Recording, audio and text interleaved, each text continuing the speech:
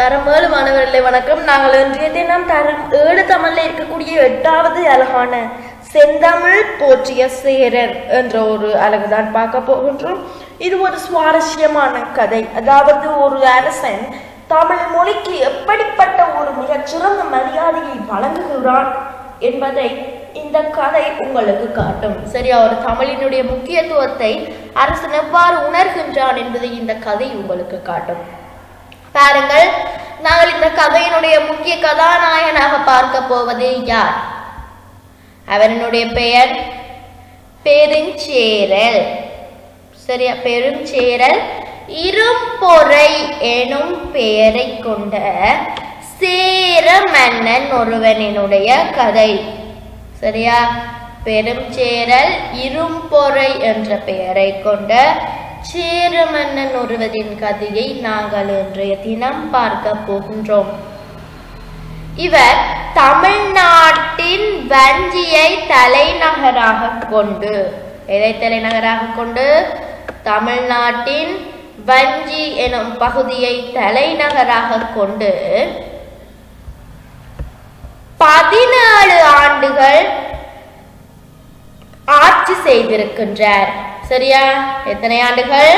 பதினேழு ஆண்டுகளாக இந்த சேர மன்னன் ஆட்சி செய்து வந்திருக்கின்றார். இவரினுடைய நண்பன் புலவர் மோசிக்கீரனர் சரியா?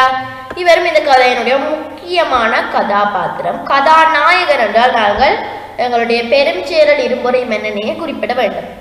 புலவர் மோசிக்கீரனர் அடுத்தது தங்களுடைய கதையினுடைய முக்கியமான இடம் எதென்று பார்த்தீர்கள் என்று சொல்லி சொன்னால் அதாவது உங்களுக்கு தெரியும் ஒரு கதை ஒன்று அந்த கதைக்கு முதலாவது ஒரு சீன் இருக்கணும். அதாவது ஒரு சீனரி அதுக்கு பிறகு அதுல ஒரு கதாநாயகன் இருக்கணும். அதை தவிர வேறு ஒரு முக்கியமான கதாபாத்திரம் இருக்கணும். அப்ப இதுல வந்து முதலாவது உங்களுக்கு கதாநாயகனை பற்றி சொல்லியாச்சு. எங்களுடைய பெரும் செயலர் இரும்பொறை தான் இந்த கதையினுடைய கதாநாயகன். அவருக்கு ஒரு சேர மன்னன் தமிழ்நாட்டின் வஞ்சியை தலைநகராக கொண்டு பதினேழு ஆண்டுகள் ஆட்சி செய்திருக்கின்றார். அடுத்த கதாபாத்திரம் புலவர் மோசிக்கிறனர் இதில் ஒரு முக்கியமான சீன் என்னென்ன பாருங்கள். இந்த கதையினுடைய முக்கியமான சீனே ஒரு நாள் களைப்பு மிகுதியால் முரசு கட்டிலில் ஏறி துயில் கொண்ட இதுதான் இந்த கதையினுடைய முக்கியமான கட்டம். ஸோ இவ்வளோ விளங்கிச்சா உங்களுக்கு நான் இது வரைக்கும் சொன்னது அவ்வளோ கேட்டுச்சு தானே என்னண்டு ஸோ இப்போ நாங்கள் கதைக்குள்ள போகலாம். ஒன் டூ த்ரீ பாருங்கள். இந்த கதைக்கு வந்து போறதுக்கு முன்னாடி நான் உங்களுக்கு சில விடயங்களை கூற விரும்புகின்றேன். இந்த சுவாரஸ்யமான கதையை கேட்க விரும்பும் மாணவர்கள் எங்களுடைய சேனலை சப்ஸ்கிரைப் பண்ணிட்டு இந்த வீடியோவுக்கு லைக் போட்டுட்டு வாங்க. நாங்க கதைக்குள்ள போகலாம். பாருங்கள். முரசு கட்டல். இப்படி என்றால் என்ன? ஒரு அரசு நிலம் வந்து மூன்று முரசுகள் இருக்கும். அதுல முக்கியமான முரசு போற்றத்தக்க முரசு ஒரு நாட்டின் பாரிய முக்கியத்துவம் பெற்ற முரசு என்று சொல்லி சொன்னால் அது வீர முரசு. ஒரு மன்னன் போர்க்களத்துல போய் வென்று விட்டு வந்தால் அவனுடைய வீர முரசை நன்கு ஒழித்து வானே அதிரும்படியாக தன்னுடைய வெற்றியை அவன் நாட்டிற்கு அறிவிப்பான். இப்படிப்பட்ட பெருமிதமுடைய அந்த முரசு முரசை வந்து மன்னர்கள் எப்படி உருவாக்குகிறார்கள் என்பதை பாருங்கள். எருதுகளை புலியுடன் விடுவார்கள். எருதுகளை புலியோட விட்டா என்ன நடக்கும்? புலி எருதுகளை பிடித்து வேட்டையாடி உண்டுவிடும் இப்படி ஒரு புலியும் எருதும் சண்டை பிடிக்கிற வேளைகள் அதாவது புலி ஒரு எருதின் மீது பாய்ந்தால் அந்த எருது தன்னை காப்பாற்றிக் கொள்வதற்காக சண்டை பிடிக்கும். அவ்வேளையில் தான் தோற்காமல் தனது கொம்புகளால் ஒரு எருது ஒரு புலியை குத்தி கிழித்து கொண்டிருந்தாள். அதை வீரமுடைய எருதாக அந்த நாட்டில் கருதுவார்கள். எல்லாருக்குமே தெரியும் ஒரு வேட்டையாடுகிற புலியை ஒரு எருது கொண்டிருந்தால் அந்த எருதினுடைய வீரம் எப்படிப்பட்டதாக இருக்கும்? சரியா? அப்படிப்பட்ட ஒரு எருதினுடைய அந்த தோலை எடுப்பார்கள். சரியா? ஒ- அப்படிப்பட்ட ஒரு பாரிய எருதினுடைய தோலை எடுப்பார்கள். அப்ப நான் உங்களுக்கு அப்படி ஒரு எருதை வந்து காட்டுகின்றேன். அப்ப இப்போ உங்களுக்கு காட்டப்படுற இந்த படத்துல வரக்கூடிய இந்த எருதை பாருங்கள் இந்த காளையை பாருங்கள். இப்படி ஒரு காளைய புலியிட்ட விட்டா அந்த புலி உயிரோட இருக்குமான்னு யோசியுங்கள். இல்ல. அப்படி இப்படிப்பட்ட ஒரு வீரம் பொருந்திய காளை இறக்கும் வரைக்கும் அதை கவனிப்பார்கள் சரி அதை வந்து அந்த வீர பொருந்திய அந்த காளையை வந்து என்ன செய்வார்கள்? இறக்கும் வரை கவனிப்பார்கள். அதன் பின் அது இறந்ததன் பிற்பாடு. சரி அந்த காளை இறந்ததன் பிற்பாடு. அது இறந்ததன் பிற்பாடு. அதனுடைய தோலை உரித்து அதாவது அந்த காளையினுடைய தோலை எடுத்து அந்த தோலை இதன் அந்த பறை மீது வைத்து போர்த்தி இறுக்கி. சரி அதை வந்து நன்கு இறுக்கி அந்த பறையினுடைய தோலை வந்து மிகவும் வலிமை உடையதாக ஆக்குவார்கள் அப்படி அவ்வளவு கவனத்துடன் அதுவும் பார்த்தீங்கன்னு சொல்லி சொன்னால் மயிர் அகற்றாமல் அந்த காளையினுடைய தோல் இருக்கக்கூடிய மயிரை அகற்றாமல் அப்படியே எடுத்து அதன் மீது போத்தி அதை இறுக்கி அந்த ஒரு முரசை உருவாக்குவார்கள். ஒரு அரசன் அந்த முரசை வந்து எவ்வளவு கவனமாக பார்ப்பான் என்பதை வந்து கூறுவதை வந்து எங்களால் ஒரு சொல் மூலமாக கூற முடியாது என்பதை இங்கே குறிப்பிடுகிறார்கள். சரியா? அப்ப அந்த முரசு வந்து பாத்தீங்கன்னு சொல்லி சொன்னால் மிகவும் ஒரு முக்கியத்துவம் வாய்ந்தது. அப்ப அரசன் வெற்றி பெற்றால் என்ன செய்வினம் என்றால் அந்த அரசன் பிடிச்சு தன்னுடைய முரசை அடி அடி அடித்து நாட்டுக்கே மிகவும் மகிழ்ச்சியான நாளாக அந்த நாள் இருக்கும். வானமை அதிரும்படியாக தன்னுடைய வெற்றியை அறிவிப்பான். இது நான் உங்களுக்கு ஏற்கனவே சொல்லியிருக்கின்றேன். அதே போலவே இந்த முரசை இவ்வளவு கவனத்தோட இவ்வளவு மதிப்புக்குரியத இந்த முரசை உருவாக்கி பிறகு கருமர கட்டைகளால். சரி அந்த முரசு உருவாக்குறதுல பாருங்க விளிம்பு கருமர கட்டைகளால் இருக்கும். அந்த இந்த விளிம்பு வந்து மிகவும் அழகானதாக இருக்கும். அதே நேரம் அதனுடைய கருமர கட்டைகளால் ஒரு மெத்தை செய்வார்கள். அதாவது ஒரு கட்டிலொன்றை உருவாக்கி அதன் மீது வெள்ளை படுக்கை விரித்து அப்படி ஒரு மிக பெருமை வாய்ந்த அந்த கட்டிலொன்றை உருவாக்கி அதிலே கொண்டு அதை வைத்து அதை வணங்கி அதற்கான மிகப்பெரிய மரியாதையை செலுத்துவார்கள். அப்படி ஒரு மன்னன் தோத்து விட்டான் என்றால் எதிர்நாட்டு அரசன் போய் அந்த மன்னனினுடைய கட்டில்ல ஒருவரை ஏறி இருக்க வைப்பார். ஏனென்றால் அது அந்த மன்னனை மிகவும் வேதனைப்படுத்துதல் மற்றும் அவதானப்படுத்துதல் அவமானப்படுத்துதல்னு சொல்லி சொல்லலாம். சரி அதாவது இப்ப ரெண்டு மன்னர்களுக்கு இடையில போர் நடக்கும் போது சரி இங்கால ஒரு படை இங்கால ஒரு படைன்னு போர் நடக்கும் போது இந்த படை மன்னன் வந்து வென்று விட்டு இந்த படை மன்னன் தோத்து விட்டால் இங்க இருக்கிற படை அவருடைய நாட்டிற்குள் நுழைந்து அந்த நாட்டில் இருக்கக்கூடிய அந்த முரசு வைப்பதற்கான முரசு கட்டிலில் ஒருவரை ஏறி உட்கார செய்வார்கள். இந்த அரசன் அதை ஒரு பாதி அவமானமாக கருதுவான். இது பண்டைய காலத்துல இருக்க ஒரு அரசனை அவமானப்படுத்துதல் என்பது அவனுடைய வீர முரசு கட்டிலில். ஒருவர் ஏறி இருப்பதுதான் மன்னனை அவமானப்படுத்துதலின் பாரிய குற்றம். அப்படிப்பட்ட இந்த குற்றத்தை மோசிகீரனர் செய்துவிட்டார் அப்பாருங்கள் இந்த மோசிகீரனர் இவர் ஒரு பாண்டிய புலவர். பாண்டிய தேசத்திலிருந்து வந்த புலவர்.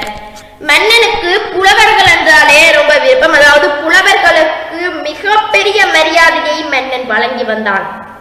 அப்படி இந்த மோசகீரனார் என்ன செய்கிறார் என்றால் மன்னனோடு பழகி மன்னனுக்கு நல்ல அறிவுரைகளை கூறி மன்னனுடைய நண்பனாக மாறி விடுகின்றார் இப்படி இந்த மோசகீரனார் இருக்கிற வேலைகளில் ஒவ்வொரு முறையும் மன்னனுக்கு அடிக்கடி வந்து மன்னனுக்கு அறிவுரைகளை கூடி மன்னனுடைய பாடிய நண்பன் மன்னனுக்கு மிகவும் விருப்பமான நண்பனாக இந்த மோசகீரனார் மாறிவிட்டார். அதே நேரம் மன்னன் நண்பனாக கருதி கொண்டு இவருக்கு பாரிய மரியாதையும் வழங்குவார். ஏனெனில் இவர் ஒரு புலவர். அப்ப இப்படி ஒரு நாள் இந்த முரசை தூக்கி கொண்டு நீர்நிலைக்கு போய்விட்டார்கள். ஏன் நீர்நிலைக்கு போனவர்கள் என்று பாருங்கள். இந்த முரசுக்கான மரியாதை செலுத்துவதில் அதிலும் உண்டு. ஒரு முரசை கொண்டு போய் அதை மிகவும் மரியாதையுடன் நீராட்டி அந்த முரசுக்கு வந்து மயில் தோகை மற்றும் பூக்களை கொண்ட அழகான மாளிகையை அணிவித்து மரியாதையுடனும் அரசு ஆரவார தன்னுடைய பரிவாரங்களுடனும் அரசன் அந்த முரசை பக்குவமாக கொண்ட முரசுக்கட்டிலில் வைத்து அதை வணங்கி போற்றி அதற்கான மரியாதையை செலுத்துவார் இப்படி இருக்கும் வேளைகளில் புலவர் மோசகீரனர் ஒரு அவைக்கு வருகின்ற அரசு அவையில் யாரையுமே காணவில்லை அமைச்சர்கள் இல்லை அரசன் இல்லை எவருமே இல்லை. இந்நிலையில் வந்த மோசகீரனர் அரசன் வரும் வரை காத்திருக்கலாம் என்று காத்திருக்கின்றார். இந்த வேளையில் அவர் மிகவும் களைப்புறுகின்றார் ஏனென்றால் அவர் தொலைவில் உள்ள தேசத்தில் தேசத்திலிருந்து வந்து விடுகின்றார். இப்ப அரசன் வரும் வரைக்கும் வேற காத்திருக்கணும்.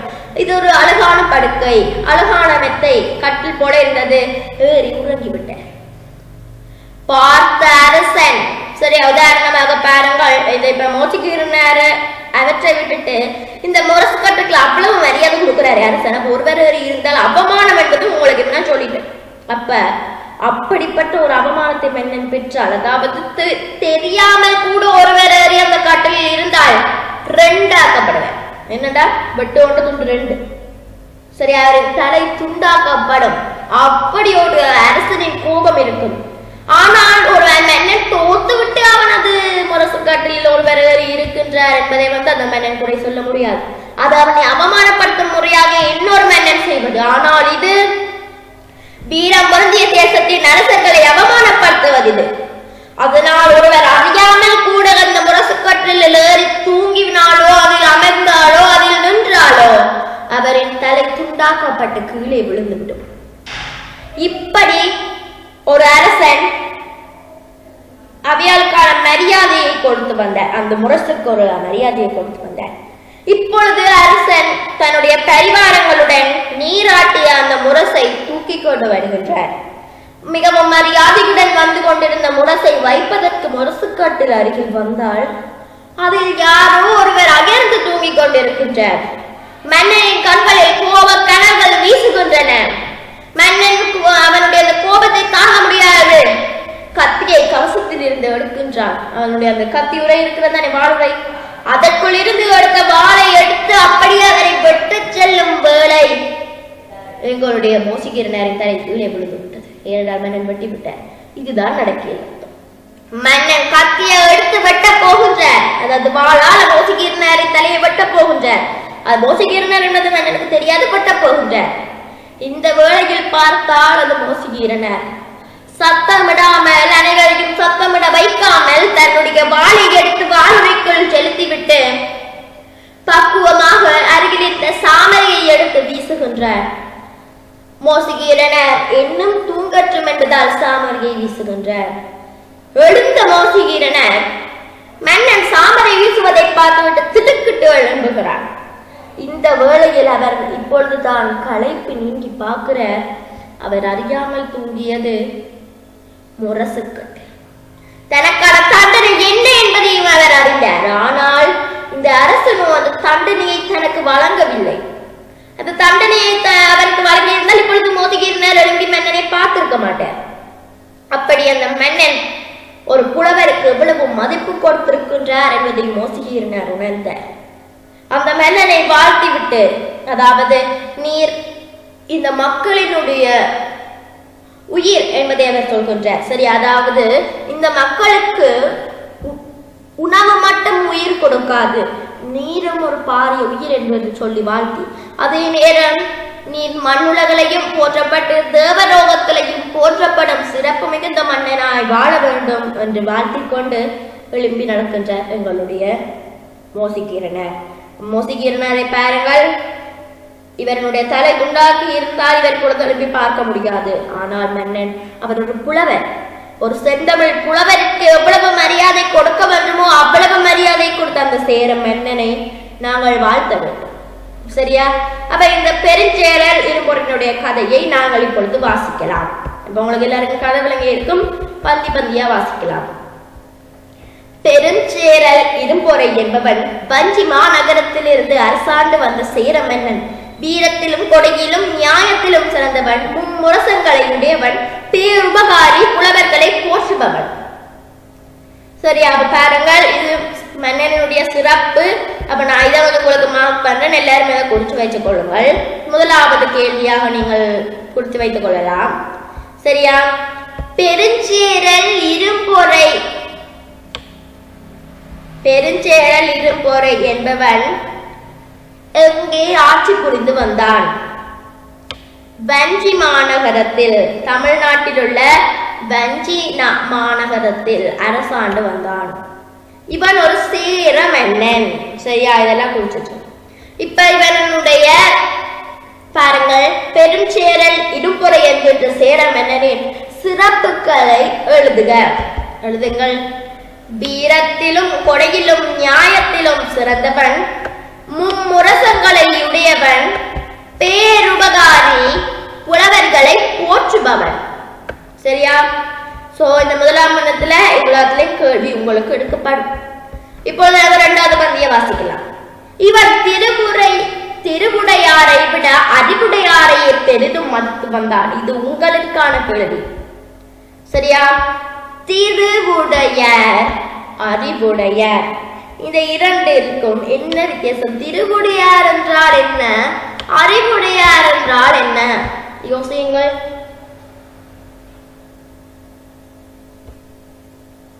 சரி நீங்கள் சரியான விடையைத்தான் யோசித்திருப்பீர்கள் என்று நினைக்கின்றேன். திருவுடையார் என்றால் செல்வம் கொண்டவர்கள். அறிவுடையார்கள் என்றால் அறிவு மிகுந்தவர்கள். அப்ப திருவுடையார் செல்வத்தை கொண்டவர்கள் விட அறிவை கொண்டவர்களை இவர் பெரிதும் மதித்து வந்தான்.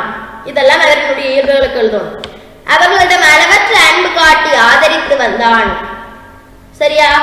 பழுத்த மரங்களைப் போல நாடி செல்லும் பறவைகளைப் போல பெற புலவர்கள் இவனை நாடி வந்தனர் பரிசு பெற்று மகிழ்ந்தனர். இது இவனுடைய அரசவையில் நடக்கிற விடயங்கள். பாருங்கள் இவர் திருவுரையாடிவர் அறிவுரையாடிய பெரும் மதித்து வந்தார். அவர்களிடத்தில் அன்பு காட்டி வந்தார். அதனால் தான் என்ன செய்கின்றார்கள்? பழுத்த மரங்களை நாடி செல்லும் பறவைகள் போல. பாருங்கள் பழுத்த மரங்களை நாடி செல்லும் பறவைகள் போல. ஒரு ம- மரத்துல நிறைய கறிகள் இருந்தால் அந்த மர மரத்துக்கு எத்தனை பறவைகள் வரும்? எத்தனை விதமான பறவைகள் வரும்? இப்படித்தான் இந்த அரசனின் கொடை மற்றும் வீரம் அவனுடைய அன்பு என்பவற்றை புரிந்து கொண்டு வெகு தூரங்களில் இருந்து கூட இவனை நாடி புலவர்கள் வந்தார்கள். பரிசு பெற்று மகிழ்ந்தார்கள். இவன் சபைக்கு பாண்டி நாட்டு புலவர் ஒருவர் வந்திருந்தார். சோ இப்பொழுதுதான் கதையை ஆரம்பிக்கின்றது. பாண்டி நாட்டு புலவர் ஒருவர் வந்திருந்தார். அவர் பெயர் மோசிகீரனர். இரும்பொறை அரசனின் அரசவைக்கு வந்த பாண்டி நாட்டு புலவரின் பெயர் என்ன? மோசிகீரனார் இரும்பொறை மன்னன் புலவரை அன்புடன் வரவேற்று உபசரித்தான். அரசனுடைய நல்லியல்புகளை அறிந்த மகிழ்ந்த புலவர் அரசே உமது அன்பை கண்டு அகமகிழ்கின்றேன். உமது அன்பு நிறைந்த அரசாட்சியில் குடிகளுக்கு ஒரு குறையும் ஈராது. குடிகளுக்கு நெல்லும் உயிரன்று நீரும் உயிரன்று. அவற்றை அவர்கள் வருத்தமின்றி பெற்று அனுபவிக்குமாறு செங்கோல் செலுத்துகின்ற அரசே உயிராவான் என்பன போன்ற பல அறிவுரைகளை கூறி வந்தார். அரசனை வாழ்த்தி வந்தார். அரசன் புலவருடைய பொன்னுரைகளை கேட்டு மகிழ்ந்து அவருக்கு வேண்டிய பொருட்களை விருப்புடன் கொடுத்து வந்தான். சிறந்த கேள்விமான் ஆகியால் புலவரின் அறிவை கண்டு வியந்து அவருடன் நட்புரிமை கொண்டான். ஆதலால் புலவர் அடிக்கடி மனது அவைக்களத்திற்கு வந்து அரிய பல செய்யுட்களை பாடி அவைகளை தெரிவித்து வந்தார். சரி அறிவுரை அறிவுரைகளை தெரிவித்து செய்யுள்களை பாடி மன்னனை மகிழ்வித்து கொண்டிருந்தார் இந்த புலவர். ஒரு நாள் மோசுகிறனர் நெடுந்தூரத்தில் இருந்து வருகின்றார். முக்கியமான சீன். ஒரு நாள் மோசுகிறனர் நெடுந்தூரத்திலிருந்து சேரனை காணும் பொருட்டு அனுமதிக்க வந்தார். ஒருவரும் இல்லை. ஆகையால் அவர் அரசன் வரும் வரை காத்திருக்க வேண்டிய வேண்டியவரானார் புலவர் பயணத்தில் கலத்து போயிருந்த இரு சற்று முற்றும் பார்த்தார். அங்கு ஒரு இடத்தில் ஒரு அழகிய ஆசனம் இருப்பதை சிறிது நேரத்திற்கெல்லாம் அயர்ந்து உறங்கிவிட்டார். அவர் அந்த ஆசனத்தில் அமரலாமா? கூடாது என்று கூட எண்ணவில்லை. உடம்பு அவ்வளவு களைத்து போயிருந்தது. சரி அப்ப களைப்பை எப்படி இந்த கட்டுரை ஆசிரியர் விளக்குகிறார் என்பதை பாருங்கள். புலவர் உறங்கிய ஆசனம். அரசனுடைய வீரமுரசம் வைக்கப்படும் முரசுக்கட்டு. வீரமுரசத்தை பற்றியும் முரசுக்கட்டளை பற்றியும் நீங்க அறியத்தர வேண்டியது அவசியம். என்றால் நீங்கள் சிறுவர்கள் உங்களுக்கு இதுவரை வீரமுரசம் என்றால் என்னென்று தெரிந்திருக்காது. வீரமுரசம் மும்முரசங்களில் ஒன்று. அது போர்க்காலங்களில் போரை அறிவிப்பதற்கு முழங்கும். வெற்றியை தெரிவிப்பதற்கும் வீருடன் ஒழிக்கும் பரியும் காலங்களில் பார்க்கெடுக்க வைக்கும் பாருங்கள். போர்க்காலங்களை போரை அறிவிக்கும் வெற்றியை தெரிவிக்கும் பரியிடும் காலங்களில் பார்கிடு எடுக்க வைக்கும். அதாவது போருக்கு முன்னால பலி கொடுப்பாங்க. அந்த காலங்களில் பாறை கிடுகிடுக்கும்படியாக இந்த முரசு ஒழிக்கப்படும். அம்முரசத்தின் அமைப்பும் அரசர்களை அதை போற்றிய முறையும் அவர்கள் அதனிடம் கொண்டு வந்த பெருமதிப்பும் வியக்கத்தக்கவை. வீர முரசத்தின் சுற்றிலுள்ள விளிம்பு கருமரத்தால் செய்யப்பட்டு மிகவும் உறுதியுடையதாக இருக்கும். பாருங்கள் வீரமுரசத்தினுடைய சுற்றியுள்ள விளிம்பு கருமரத்தால் செய்யப்பட்டு உறுதியுடையதாக இருக்கும். அதன் மேல் போத்தப்பட்டிருப்பது வீரம் பொருந்திய ஒரு எதிரின் தோ எதி- எருதின் தோளாகும்.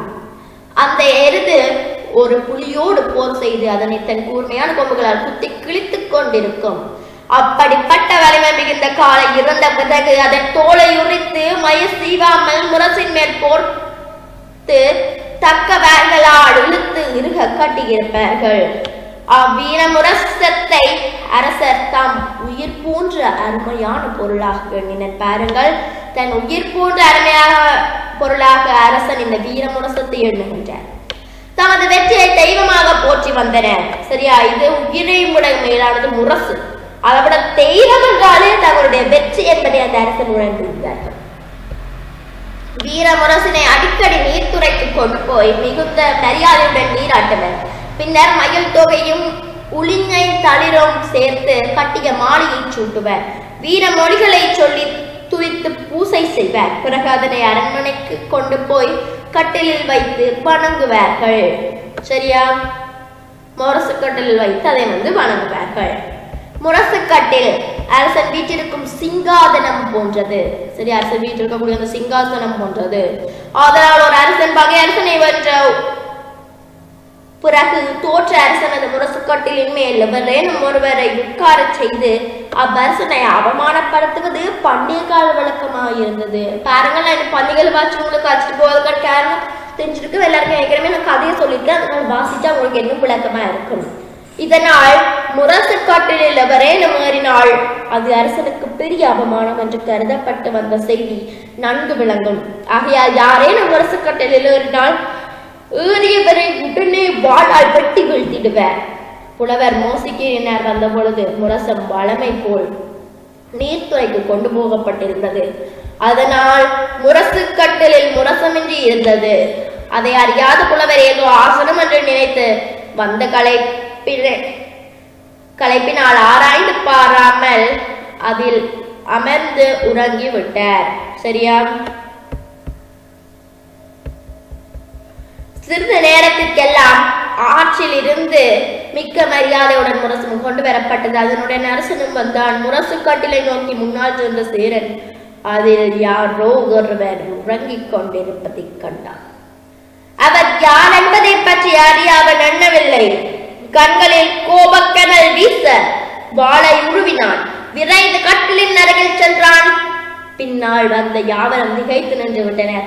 மறுநொடியில் புலவரது உடல் இரு துண்டுகளாக விழுந்தது. ஆஹா விழுந்திருக்க வேண்டும். ஆனால் அவ்வாறு நிகழவில்லை. அதற்கு மாறாக வேறொரு அற்புத நிகழ்ச்சியை கண்டு எல்லாரும் தியப்பில் திகைப்பு நீங்கி வியப்பில் மூழ்கினர். இரும்போடை மென்னன் முரசுக்கட்டிலின் அருகில் சென்றதும் சிறிது தயங்கி படுத்து தவறின் முகத்தை பார்த்தான். பார்த்தவுடன் அவனுடைய கோபம் எங்கோ பறந்து போய்விட்டது. பொங்கிய கோபத்திற்கு பதிலாக இலக்கம் சுரந்திருந்தது. நெடும் தூரத்தில் இருந்து வந்த கலைப்பினார் புலவர் அயர்ந்து தூங்குகின்றார் என்பதை அரசன் உடனே உணர்ந்து கொண்டார் அவர் தூக்கத்தில் இடையூறு உண்டாக்கலாகாது என்பதை அன்புடன் நினைத்தான். புலவர் நன்றாய் தூங்கி களைப்பு நீங்க வேண்டும் என்பதை ஆசை கொண்டான் ஆதலால். வாளை உரையில் போட்டுவிட்டு சாமரையை கையில் அடுத்து புலவர்கள் நின்று அவன் உடம் அவர் உடம்பு குளிர வீசிக்கொண்டிருந்தான். நீண்ட நேரம் தம்மை மறந்து தூங்கிக் கொண்டிருந்த மோசிகீரனர் மெல்ல கண் விரித்தார் அதுக்கு நிற்கும் அரசனையும் அவன் செயலையும் கண்டு திடுக்கிட்டு எழுந்தார். சிறிது தூரத்தில் வீர முரசும் அதனை சுற்றிலும் அரசனுடைய பரிமாறங்கள் இருப்பதை பார்த்தார் அவன் மனதில் ஏதோ பெரும் தவறு செய்து விட்டது போன்ற ஒரு உணர்ச்சி ஏற்பட்டது. பரபரப்புடன் நாசனத்தை விட்டு இறங்கி நின்றார். தூக்கத்தினால் களைப்பு நீங்கி தெளிந்த அவரில் அவரது அறிவில் அப்பொழுதுதான் தாம் உறங்கியது முரசுக்கட்டில் என்பதும் அதில் ஏறி இருந்ததற்கு அரசன் அதில் ஏறி இருந்தது அரசனுக்கு செய்த பெரும் தவறு என்பதையும் விளக்கமாய் தோன்றினார். அத்தவறு செய்த அடையும் தண்டனையையும் அவர் நன்கு அப்ப இப்ப இவருக்கு என்ன செய்ய போது கடுமையா பீதிகளாம் சரியான நன்கு அறிவார் ஆகையால் அரசன் நம்மை கொல்லாமல் விட்டதுமன்றி தமது தூக்கத்திற்கு உதவியாக சாமரியை வீசினார் நினைக்க நினைக்க அவர் மனம் அன்பால் கரைந்து விட்டது அவர் தாம் அவசரத்தில் அறிவிழந்து செய்து விட்டதற்கு மிகவும் வருந்தினர் அரசனிடம் மன்னிப்பு கேட்க வேண்டும் என்று அவர் மனம் துடித்தது ஆனால் அவர் அரசனுடன் தாம் பழகும் நட்புரிமைக்கு அது ஏற்றதன்று என்பது என்பதனால் பேசாதிருந்தார் மனம் குழம்பிய அந்நிலையில் என்ன பேசுவது என்று அவருக்கு தோன்றவில்லை. அரசன் போல நிலைமையை உணர்ந்தான். அருகில் போய் அவரை தழுவிக்கொண்டு அறிஞரே நீண்ட தூரத்திலிருந்து வந்திருக்கிறீர் போலும். களைப்பு மிகுதியாயிருந்தால் இன்னும் சற்று நேரம் கண்ணுறங்கலாமே. ஏன் எழுந்து விட்டீர்? என்று ஆதரவுடன் வினவினான். அரசன் அன்புரைகளை அகங்காரித்த புலவர். அரசே உமது பேரண்டைய மொழிகளால் எடுத்துரைப்பேன். ஜாம் உம்முடைய அன்பு வெள்ளத்தில் பல நாட்கள் நீங்கி மகிழ்ந்து ஆனால் இன்று முழுகி கழிக்கின்றேன். அப்ப இவ்வளவு என்னவா அவர் அவருடைய பேரன்பை எம்மொழிகளால் எடுத்துரைப்பேன் என்று சொல்லி சொல்கின்றார் அவருடைய பேரன்பை அவர் சொல்கின்றார். பல நாட்களாக உமது பேரன்பில் நீந்தி மகிழ்ந்து உண்டு. ஆனால் அதாவது நீந்தி மகிழ்ந்து மகிழ்ந்திருக்கின்றேன் என்பது சொல்கின்றார். ஆனால் இன்றைக்கு மூழ்கி கழிக்கின்றேன். இச்செயல் உம்மை புண்படுத்த புண்படுத்தக்கூடியது. என்பதை உணர்வேன். என் செயலுக்கு நீர் சினம் கொண்டு என்னை உருக்கூறாக்கி இருக்கலாம். ஆயினும் நீர் அவ்வாறு செய்யவில்லை. மேலும் நீர் சாமரை கொண்டு வீசினீர். இதை நான் எவ்வாறு புகழ்வேன்? நட்பின் சுவையுணர்ந்த நல்ல அருமை போல் வேறொருவர் உலகில் உண்டோ? நீர் தமிழில் கொண்டிருக்கும் பேரன்பு அன்றோ உம்மை இவ்வாறு கோபத்தை மறக்கச் செய்து சாமரை வீசுமாறு தூண்டியது.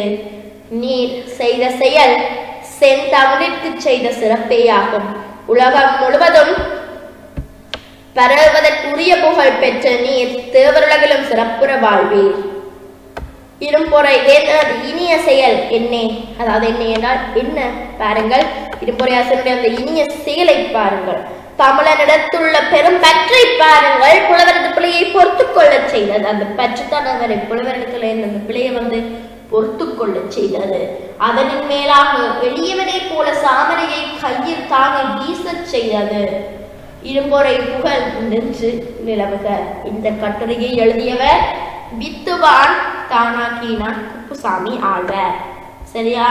சோ இந்த பாடத்தில் இருக்கக்கூடிய அனுபவங்களை பாருங்கள். மும்முரசம் மூன்று முரசுகள் நியாய முரசு வீய முரசு தியாக முரசு திரு செல்வம் அவை சபை பா பூமி சிங்காதனம் அரியணை கவிசு பரிவாரங்கள் சுற்றத்தார்கள் சினம் கோபம் களி சந்தோஷம் சாமரை கவரி அல்லது விசிறி. கேள்விகளை பாருங்கள். மொத்தம் எட்டு கேள்விகள். சேரம் மன்னன் அரசான நகரம் எது? வஞ்சி நகரம்.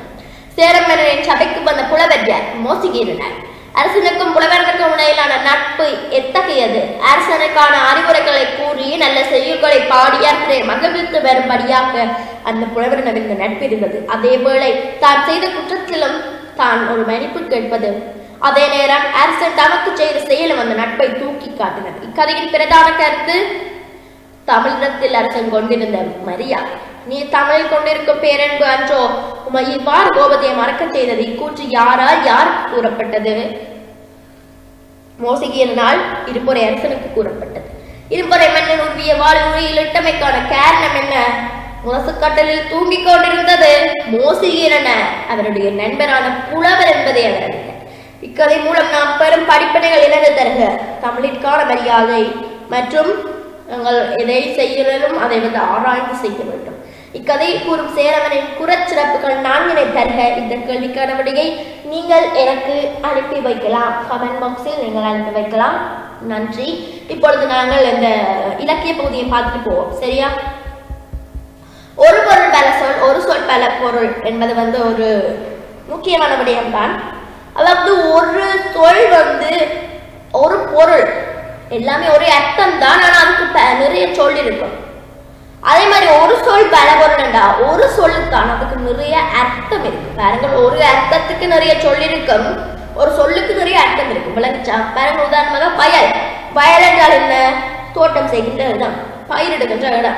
அதே போலவே குளம் என்றாலும் பயிரிடுகின்ற இடம் கழனி என்றாலும் பயிரிடுகின்ற இடம் கமம் என்றாலும் பல பயிரிடுகின்ற இடம் படலம் என்றாலும் ப- பயிரிடுகின்ற இடம். ஆனால் வேதம் மந்திரம் கரை மர ஒளித்தல் இதுக்கெல்லாம் மறை என்று சொல்லி வருது பாருங்கள். முதலாவது வேதம்.